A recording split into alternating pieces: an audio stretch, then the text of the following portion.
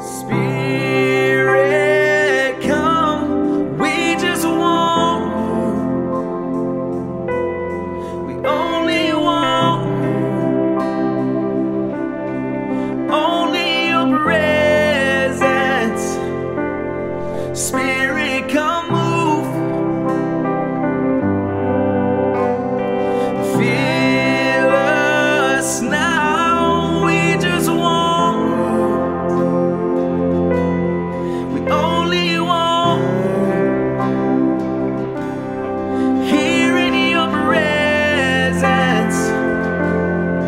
Spirit, break through.